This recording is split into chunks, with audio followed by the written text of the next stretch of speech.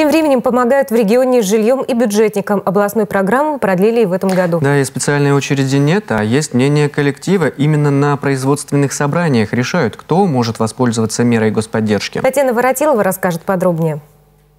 Позади бумажная волокита при покупке квартиры и ремонт. Это, пожалуй, были основные хлопоты, признается семья Кугаевских. Остальное только плюсы. Купили квартиру по программе для бюджетников. Они врачи уже больше 10 лет, поэтому получили 800 тысяч рублей. Это безвозмездная субсидия и займ на 10 лет под 1%. В семье два ребенка, на каждого по программе положены 100 тысяч рублей. Если ипотека это там процентов 11-12 и платить ее приходится лет 20-30, там, соответственно, суммы совсем другие, то здесь, конечно, мы платим всего 10 лет, и переплаты, она, естественно, гораздо меньше. Жилье должно быть новым от застройщика. Соответственно, а, нам нужно было либо иметь готовое жилье от застройщика, либо а,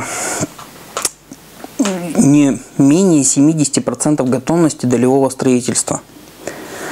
Исходя из этих условий, мы должны были подыскать себе квартиру. 512 работников бюджетной сферы в минувшем году отпраздновали новоселье. На господдержку власти направили 750 миллионов рублей. В этом году у нас программа продолжается. У нас заложено бюджет 870 миллионов рублей. Это средства на займы и на социальные выплаты.